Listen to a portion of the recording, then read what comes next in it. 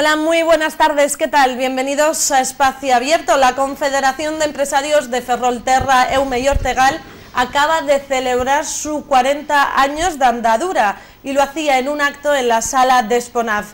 De este evento y de los proyectos que tiene en mente para el futuro vamos a hablar esta tarde con Cristóbal Dobarro, presidente de COFER. Muy buenas tardes. Buenas tardes. Antes de meternos a preguntarle cómo son esos planes y proyectos que tiene para mejorar la situación de Ferrol, ¿cómo fue ese acto del 40 aniversario de COFER?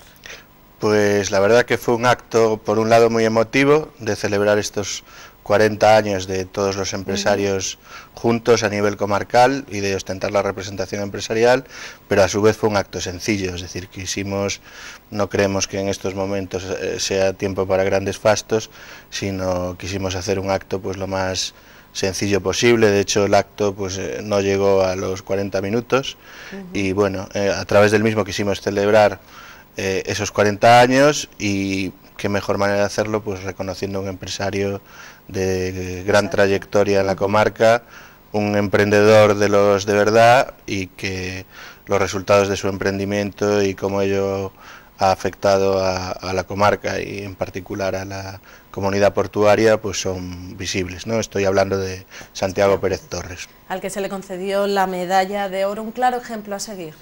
Sin duda. Eh, un poco desde el año pasado que instituimos los galardones de COFER y la primera persona galardonada por su trayectoria fue Cándido Hormida, lo que queremos hacer es a todas aquellas personas e instituciones que por su compromiso con la comarca y por su trabajo pues han llevado adelante proyectos empresariales o han llevado a cabo iniciativas que han beneficiado al tejido productivo de nuestra comarca, pues reconocérselo, ¿no? Porque yo creo que es justo y también es justo poner en valor la figura del empresario, ¿no? Tantas veces denostada y que nosotros como Confederación de Empresarios pues estamos muy comprometidos con eh, dar valor a lo que somos los empresarios porque al final, gracias a esas personas emprendedoras que arriesgan, es por lo que el tejido productivo de nuestra sociedad crece y nuestra calidad de vida, con lo cual pues creo que merecen nuestro más sincero agradecimiento. Sobre todo porque son aquellas, esas las que arriesgan, las que se comprometen en un proyecto, son las que permiten que aumente este tejido, mientras que podemos saber y que la, da miedo el aceptar ese reto y el ir delante y a ver si sale o no y seguramente supone pues bastante presupuesto el hecho de comenzar un nuevo proyecto y asusta mucho, sobre todo en los tiempos en los, con los que corre. Sí, sin duda. Hay todo tipo de emprendedores, ¿no? Desde el, el autónomo que inicia su andadura -huh. individualmente y prácticamente con lo opuesto, hasta aquellos que inician un proyecto industrial. Uh -huh. El caso de Santiago eh, es singular en el sentido de que empezaron pues eh, con muy poco y ellos mismos realizando todo tipo de labores en, en consignación, eh, en, en, marín, eh, en el año 67 hasta llegar a tener pues una empresa en el ámbito logístico portuario pues multimodal uh -huh. con, con múltiples servicios y además con una proyección internacional, lo cual para una empresa que su base principal está en Ferrol, pues evidentemente tiene que ser un orgullo para nosotros, igual que todas eh, las otras empresas que uh -huh. existen en la comarca y podríamos citar unas cuantas que tienen proyección internacional, que están trabajando, están innovando y, y eso es lo que queremos reconocer desde la Confederación. Uh -huh. eh, llevamos eh, ya mucho tiempo incidiendo en qué es lo que tenemos que hacer los empresarios para ser competitivos de cara al futuro y eso es lo que está comprometida la Confederación y va a seguir estando. Como celebraban esos 40 años, ¿cuál diría que ha sido la evolución de COFER a lo largo de estos 40 años? Bueno, en el año 77, como consecuencia de la aprobación de la Ley de Libertad Sindical, uh -huh. Se crea en Ferrol lo que se llamaba la Unión de Empresarios de Ferrol. Eh, Posteriormente, esa asociación se fue transformando, eh, surgió otra asociación, que es la Asociación de Empresarios de Ferrolterra, y a raíz de esas asociaciones se crearon las confederaciones, eh, la Confederación de Empresarios de Ferrol y la Confederación de Empresarios de Ferrol y Ortegal, CFEOR. Durante años hubo esa dicotomía de que existían dos confederaciones en Ferrol, lo cual hacía que la representatividad empresarial pues estuviese por un lado mm, dividida y por otro lado que careciese de toda la representación que era necesario. Y eso se puso fin en el año 2008 cuando ambas confederaciones se fusionan en lo que es la actual COFER, que por tanto es heredera pues de esa primera unión de empresarios de Ferrol. Eh, todas estas entidades han atravesado y han vivido pues estos 40 años que principalmente han protagonizado pues desde la etapa de la reconversión industrial hasta haber vivido la modernización de la producción industrial de la comarca, la salida al exterior y también hemos vivido pues profundas crisis económicas, en particular esta última. Eh, con lo cual, pues no todas las etapas han sido fáciles, pero lo que celebrábamos el otro día precisamente son esos 40 años de, a pesar de todas las dificultades, pues seguir estando aquí, seguir estando luchando por lo que es el tejido productivo de nuestra comarca. Esos 40 años que hace que actualmente, ¿cuántas entidades y asociaciones estén formadas por COFER? Pues ahora mismo dentro de COFER hay una veintena de asociaciones de empresarios de distintos sectores, desde la propia Asociación de Empresarios de Ferrolterra, pasando por la de jóvenes empresarios, eh, asociaciones de comerciantes, de hosteleros y de distintos sectores industriales, como puede ser siderometalúrgico, portuarios, etcétera, que conforman pues bueno un, un grupo de más de 2.000 empresas que nos hace pues, ser la entidad empresarial más em, representativa a nivel comarcal. ¿Cuál diría que han sido los pilares básicos en los que se ha sentado COFER a lo largo de todo este tiempo? Bueno, mm, básicamente intentar ser la voz de los empresarios, es decir, que los empresarios de esta comarca se viesen representados por las distintas entidades empresariales que han existido en la comarca, no que en este caso COFER sea un verso libre eh, y que esté eh, alejado de, la realidad empresarial, sino que lo que procuramos es tener contacto con las empresas, conocer cuáles son sus problemas reales para nosotros poder hacer de portavoces. Siempre estamos a disposición de las empresas para, para todo aquello que necesitan, que desde un punto de vista institucional pues la Confederación les pueda servir de apoyo.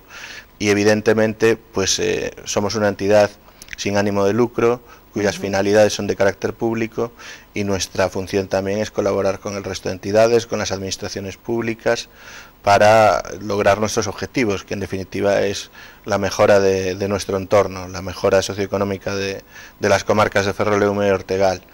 Por eso eh, también tenemos que tener, pues, eh, por un lado, la perspectiva singular de cada empresa, pero por otro lado, la perspectiva de conjunto de, todas ellas y, de, y del ámbito comarcal, marcándonos objetivos de carácter público. No está la Confederación únicamente para trabajar por el interés singular de las empresas, que también, sino para trabajar por el interés colectivo que lógicamente pues es coincidente entre las empresas y entre toda la sociedad. Y para conseguir esto, llevan a cabo iniciativas como la que hacían esta misma mañana, firmar un convenio con Exponaf. ¿En qué consistía exactamente? Sí, acabamos ah, esta misma mañana de firmar un convenio con la Fundación Exponaf para que la Confederación apoye a, esta fundación eh, en todas sus iniciativas. Eh, hay un compromiso de, aportación anual por parte de la Confederación para, para colaborar con la, con la Fundación. Eh, ya, aunque no estaba firmado el convenio, eh, este pasado ejercicio hemos hecho una aportación en ese sentido, hemos facilitado a la Fundación eh, unas guías pedagógicas para los escolares que acuden a la Fundación, pues las ha editado la Confederación, porque consideramos que Exponap y el, Museo, la exposición permanente de la construcción naval, es, un bien eh, singular y es un bien de importancia que eh, favorece sin duda pues eh, todo lo que sea eh, la industria de servicios y la industria turística en nuestra comarca y por tanto sin duda Exponap va a tener nuestro apoyo así como todas aquellas otras iniciativas que generen riqueza y generen ilusión y una visión positiva de nuestra comarca. Ahí siempre va a estar la Confederación. Hoy le tocaba el turno a Exponap, pero continuamente estamos firmando convenios, estamos manteniendo acuerdos con distintas entidades, pues ya sea para poner nuestra comarca en el mapa o ya sea para desarrollar iniciativas conjuntas que favorezcan pues tanto en, favorezcan nuestro tejido productivo tanto en los entornos formativos como en los entornos productivos como en aquellos otros sectores emergentes, como puede ser en este caso el turismo. De hecho, hacía poco también firmaba otro convenio con la Diputación en la que se destinan unos 75.000 euros a la realización de actividades por parte de la Confederación. ¿En qué consiste? ¿En qué irá destinado este dinero? Sí, este es un, convenio para actividades. Dentro de este convenio hay actividades eh, formativas, hay actividades eh, para el fomento de emprendedores dentro de la comarca, hay actividades eh, dirigidas a la promoción exterior de la comarca. Y hay actividades eh, también dirigidas a realizar determinados estudios y trabajos un poco eh, relativos pues precisamente a, nuestra capacidad productiva, a nuestras necesidades formativas y en particular a las necesidades del futuro, especialmente relacionado con lo que se llama la industria 4.0. En todos esos ámbitos son en los que estamos trabajando desde la Confederación y este convenio con la Diputación Provincial pues va a hacer posible que, podamos seguir avanzando y, realizar muchos de estos proyectos y así eh, pues alcanzar nuestros objetivos. De hecho, hace poco, ahora que hablaba de 4.0, se llevaban a cabo una conferencia eh, bajo el nombre Plan Ferrol 4.0, en el que daban a conocer y hablaban de cómo introducir las nuevas tecnologías en las empresas. ¿Qué nos puede contar de esa conferencia? Sí, precisamente ello eh, viene de, de un proyecto que es realizar un estudio por parte de la Confederación sobre las necesidades formativas dentro de las empresas para afrontar esta industria 4.0 y en definitiva es ir facilitando información al tejido empresarial de qué es lo que se avecina de aquí a los próximos años y que en función de esas necesidades pues podamos ofrecer también a las empresas formación adaptada a esas necesidades futuras y sobre todo ofrecer información de cómo en la actividad de cada una de las empresas puede incidir este, este futuro, esta eh, necesidad de innovación constante que en la sociedad actual hace que prácticamente tengamos que ver los objetivos ya no a muchos años, sino a años vista, e incluso meses vista. ¿no? Con lo cual, pues bueno, la Confederación es consciente de que trabajar por la innovación es una necesidad para el tejido productivo de nuestra comarca que el lugar del tejido productivo de las comarcas de Ferrol, y Ortegal está precisamente en el de aquellas eh, empresas que innovan, aquellas empresas que son eh, capaces de ofrecer productos y servicios eh, altamente cualificados y por eso sabemos que nos tenemos que subir al tren de la industria 4.0, con lo cual, pues por parte de la Confederación, sí, además, una industria 4.0 entendida en el sentido transversal, no ya solo el sector puramente industrial duro, por así decirlo, sino entendiendo Industria 4.0 como adaptable a cualquier sector. Y en eso va, va, a trabajar la Confederación y va a intentar facilitar pues tanto información como medios a las empresas para que se puedan subir a ese tren. Con respecto al empleo, el mes pasado de septiembre se firmaron en la ciudad de Ferrol 2.116 nuevos contratos, una cifra que nos alcanzaba desde el mes de septiembre del 2008. Desde el puesto que ocupa usted, ¿ha notado esa mejora?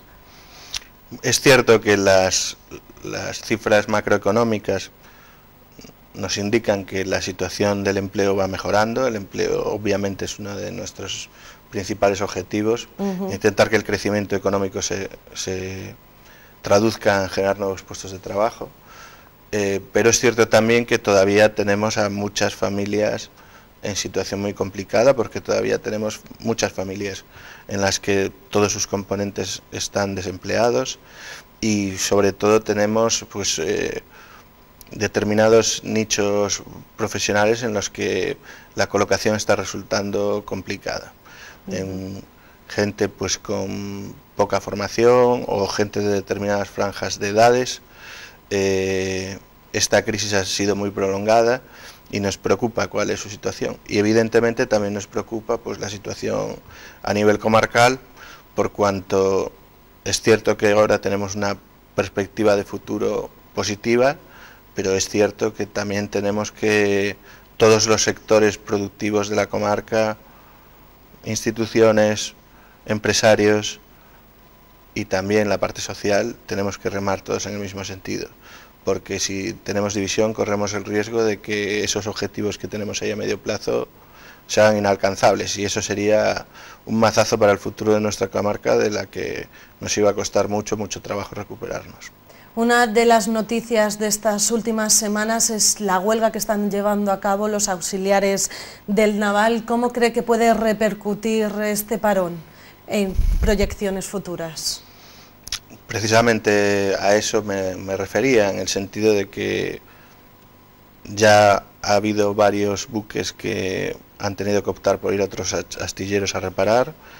Y hay empresas que son clientes potenciales de Navantia y, en consecuencia de muchas de las empresas de nuestro sector industrial que se están replanteando el realizar encargos o pedidos a, nuestro astillero. Y eso precisamente porque ven eh, inseguridad jurídica y porque ven eh, posibilidad de que, de que no se puedan cumplir sus compromisos ello evidentemente puede generar un efecto pernicioso a nivel comarcal y no creo que estemos en el momento para eh, poder permitirnos una confrontación desde el punto de vista social que se prolongue en el tiempo.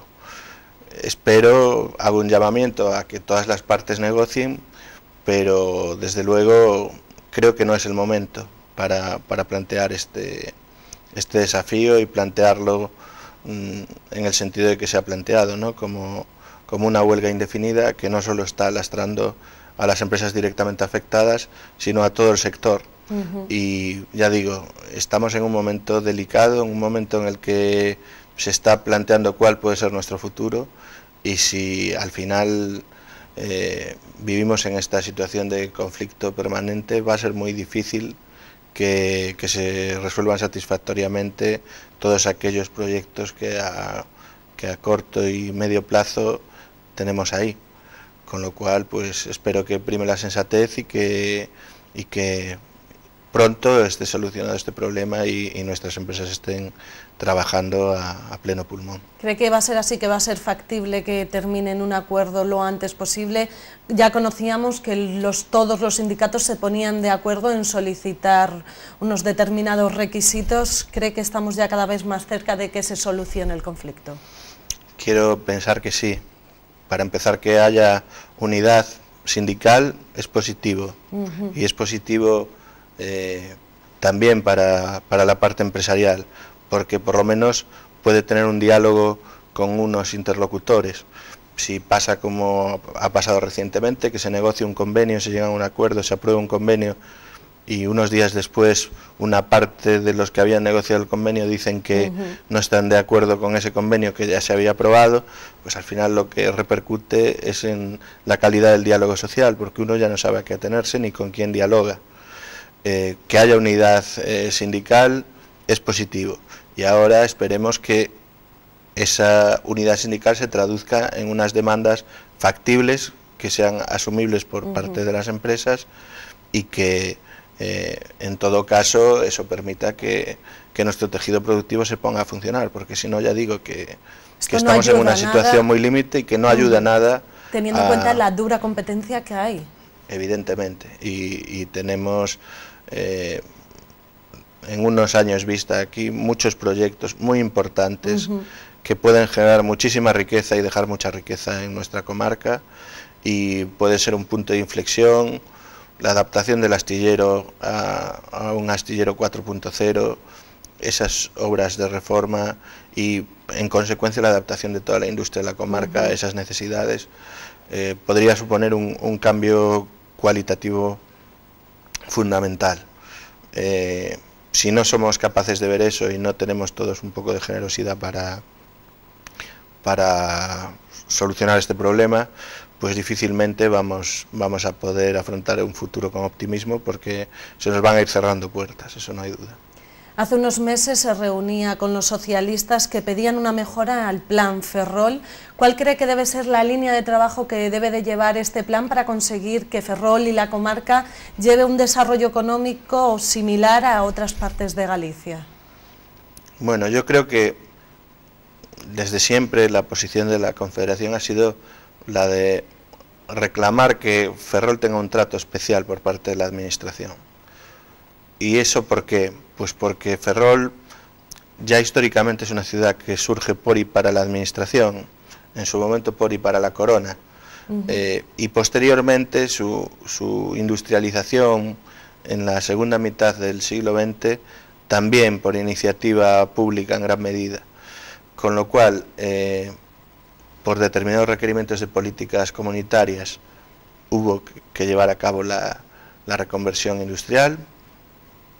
En ese momento fue algo necesario, era necesario que mejorase, se modernizase y mejorase nuestra, nuestra competitividad, pero todo eso viene derivado de decisiones políticas.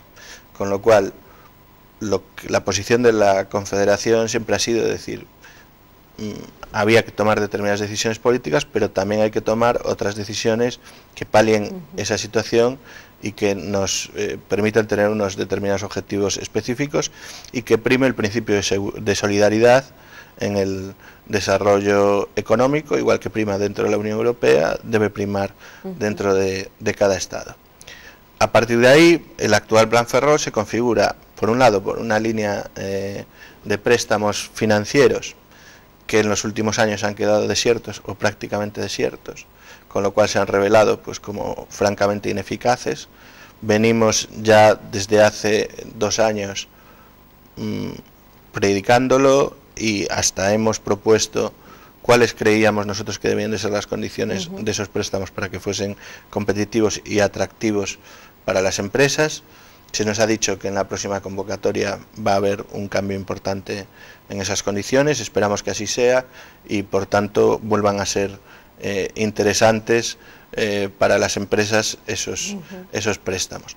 Y por otro lado está la parte de coordinación y de impulso de las políticas en el ámbito económico por parte de la Administración, que lo cierto es que también en estos últimos años han estado bastante ausentes.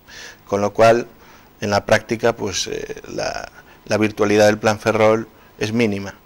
Eh, es cierto que formalmente sigue existiendo, pero lo cierto es que desde el, desde el punto de vista práctico, pues eh, la incidencia que está teniendo el plan Ferrol pues es, es, muy reducida.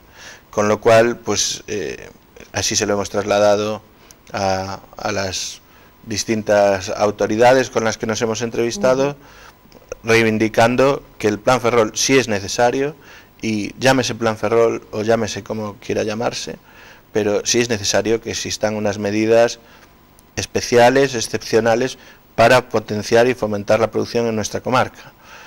Mm, se puede hacer como se ha hecho a través de financiación, siempre y cuando sea con condiciones adecuadas, o se puede hacer a través de otro tipo de iniciativas públicas, pero desde luego mm, yo creo que actualmente el Estado y la Administración están en deuda con nuestra comarca y creo que debemos seguir reivindicando que colaboren, pero a Dios rogando y con el mazo dando. Eso no quita que tengamos que seguir haciendo los deberes nosotros y que tengamos que seguir siendo conscientes de que aunque debemos reclamar a la Administración lo que es nuestro, debemos también de intentar por nuestros propios medios generar toda la riqueza, generar todo el tejido empresarial, todo el tejido industrial. es lo que le quería preguntar con respecto a COFER, ¿cuáles son las proyecciones, proyectos que tienen en mente para ayudar que este desarrollo económico vaya mejorando las cosas? Bueno, por un lado, eh, vamos a, eh, desde el punto de vista del empleo, vamos a presentar próximamente una plataforma de empleo de la que van a poder ser usuarias todas las comarcas y todos, todas las empresas de la comarca y todos los trabajadores para poner en contacto esa oferta que muchas veces eh, pues las empresas no son capaces de encontrar trabajadores con los perfiles que buscan, se va a generar una, una herramienta por parte de la Confederación para facilitar eh, esa labor.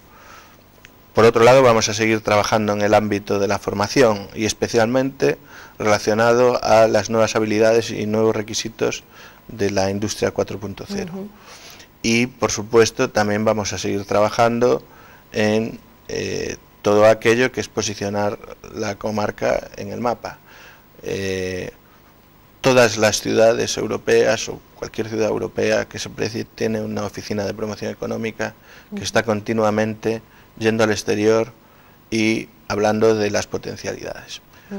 Algo que creo que tenemos los deberes sin hacer, porque eh, si uno va por fuera, la gente no conoce Ferrol cuando hemos hecho presentaciones en el exterior y hablamos de Ferrol y hablamos de lo que hay en Ferrol, de las posibilidades que tiene, de nuestras infraestructuras, de nuestro puerto, de los astilleros, de las empresas energéticas, de todo el tejido industrial, de la universidad, del campus industrial, la gente se queda boquiabierta con las posibilidades que tiene nuestra comarca. Eh, lo que necesitamos es ponernos en el mercado. Mientras que no estemos Mientras que la gente no sepa que estamos en el mercado, nadie va a comprar el producto Ferrol. Entonces, seguimos comprometidos con ellos, pero sería muy positivo y necesario que el resto de administraciones también se involucrasen en esa, en esa labor, sin duda. Lo que nos queda claro es que aún queda un duro trabajo para darse a conocer en Ferrol y que vean las posibilidades que tiene la comarca. Cristóbal Dobarro, un placer tenerte esta tarde en Espacio Abierto. Muchas gracias. Igualmente, muchas gracias a vosotros. Y muchísimas gracias a ustedes. Ya saben que nos pueden seguir en nuestra página web, que les recuerdo tvferrol.es. También nos podrán ver a través del canal de YouTube o en las propias redes sociales. Que tengan una muy buena tarde.